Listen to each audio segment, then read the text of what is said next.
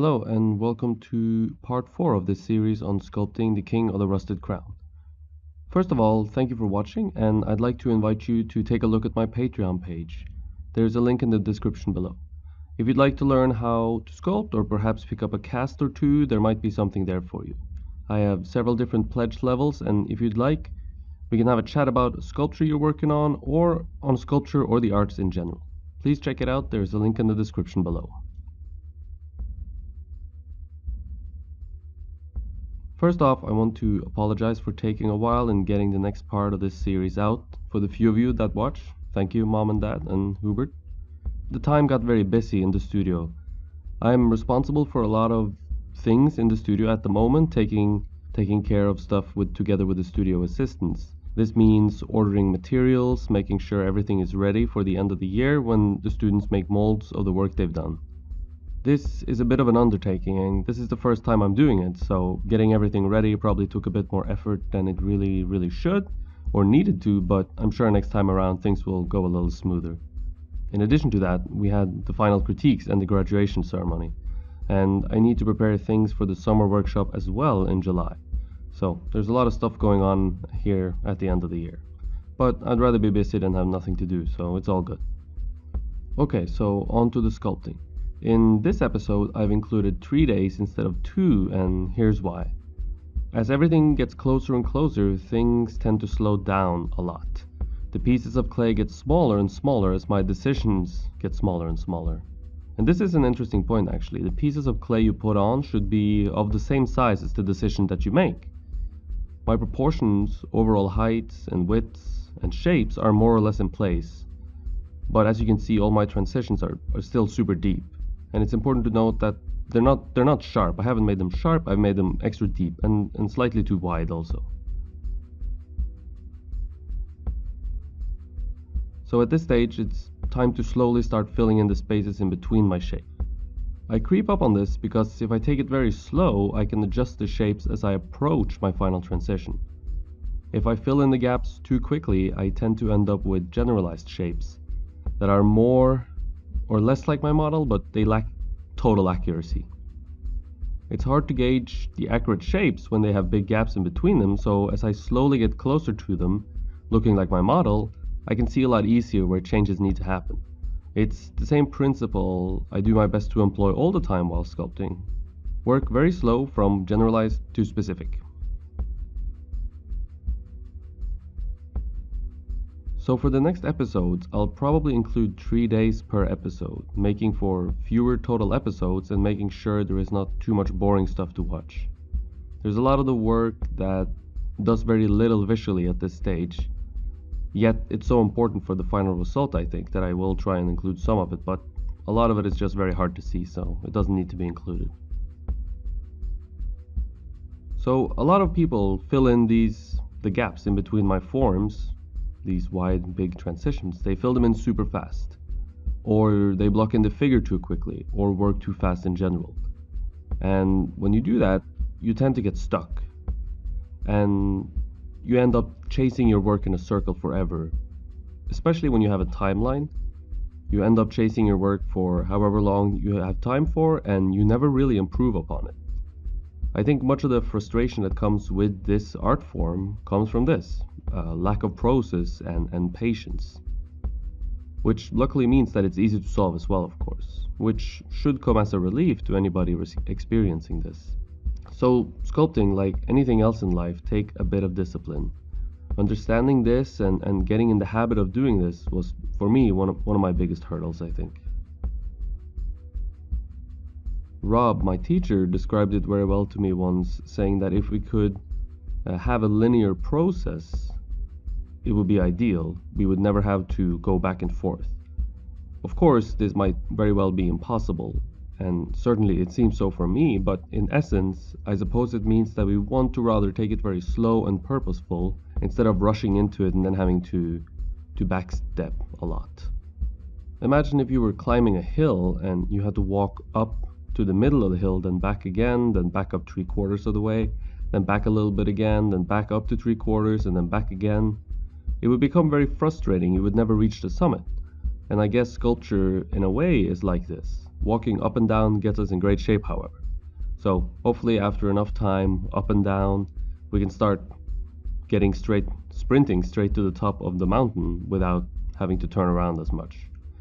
So essentially, I guess this means, you know, practicing makes the process go a little bit easier, leading to less frustration and less back treading.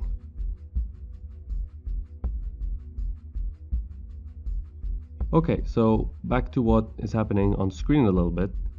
As I slowly come closer to the surface, things reveal themselves to me and I resculpt or redesign a lot of the shapes that were already in there. At this stage, it's very easy and almost natural to do this. Everyone's process is a little bit different, of course, but I've found that this way of doing things kind of solves every issue for me as they come up, which feels quite natural. Perhaps this method will do the same for you, who knows? I certainly hope it can help you a little bit, if nothing else.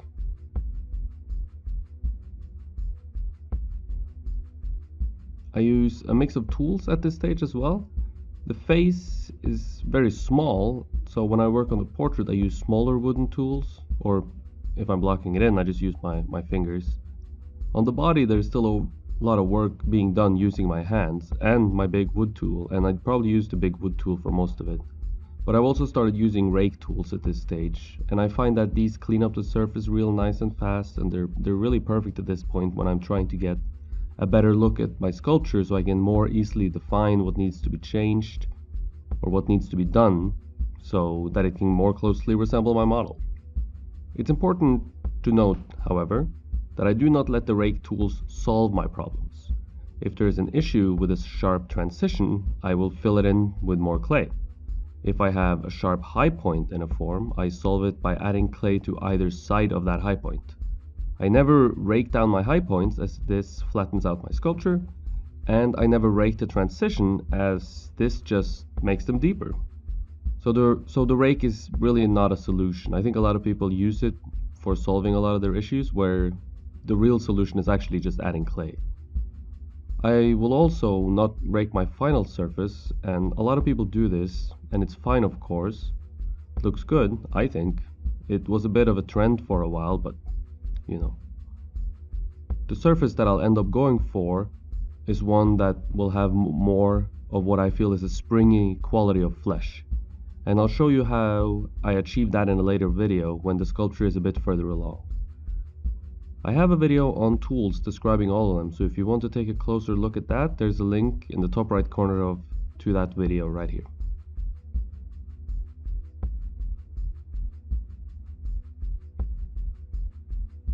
This episode also contains a lot of work on the portrait, and while the body has progressed into the next stage somewhat, the head and the arms are still being blocked in.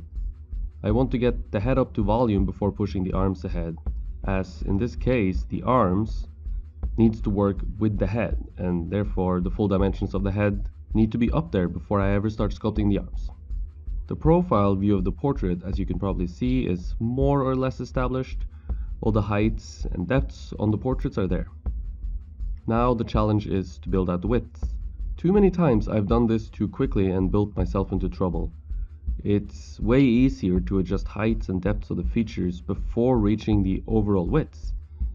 In a way, I'm almost looking for a good impression of my model's face from, from the side view, but with very accurate proportions. Then I can sculpt out the width. But like with the gaps in between the forms, I very slowly approach my width so that I can make adjustments as I go along, while it's still easy to make them.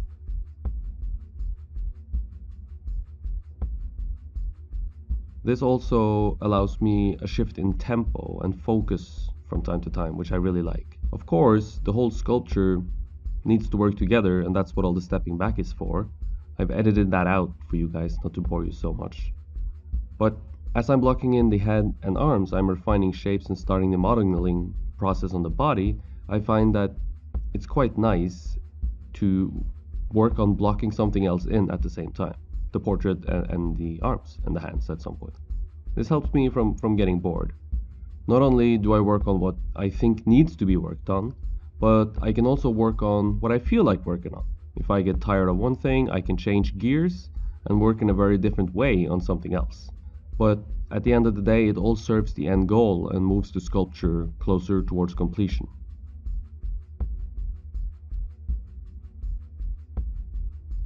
You can probably also notice that I do my very best to break the sculpture down into as many shapes as possible. For example, in the neck area around the back of the head, this area appears a lot smoother on the my model than what I've blocked it in, and I'll fill these gaps in later in the process. I just find that doing it this way helps me judge the larger space, the larger spaces, the larger lengths and heights and widths, and a lot of the stuff I find I will lose later on anyway when I model. But part of it will still be there, almost giving the sculpture a sense of having something internal, and I find that the result is very realistic. Though it does look a bit extreme at the moment for sure, which is fine, it's all part of the process.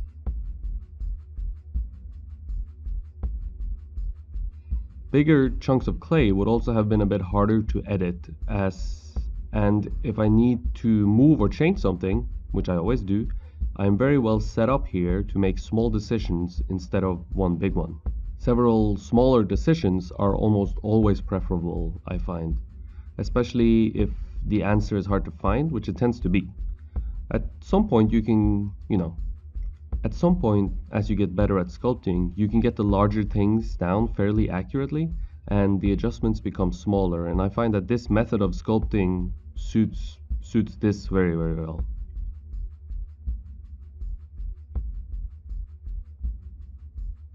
Speaking of process, it's very hard for me doing these videos to define each step. I wish I could and I think it would have been a lot easier to follow probably. But at the same time it would have been deceiving to you as the viewer and as it's not really the way I sculpt. The steps do really blend together. The design of my shapes is not something I deal with all at once, for example. It kind of evolves as the sculpture evolves. So while I probably could have made some easy to follow steps, it's really not representative of the way that I sculpt or the way that I want to sculpt.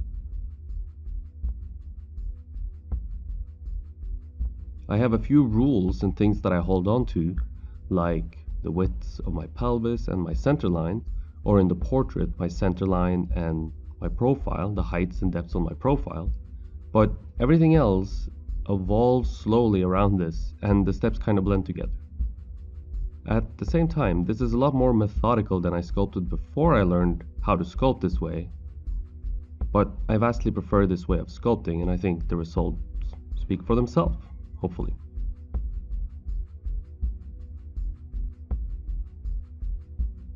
Thank you for watching. If you liked what you saw, please click the thumbs up and share with your friends. Sharing the video will help me out a lot. Subscribe if you want to see more and click the little bell for notifications so you'll never miss a video. I try to upload every week and sometimes twice a week. I'd also like you to take a look at my Patreon page. There's a link in the description below. If you would like to learn how I sculpt or perhaps pick up a cast or two, there might be something there for you. Thank you for watching and I hope to see you in the next one.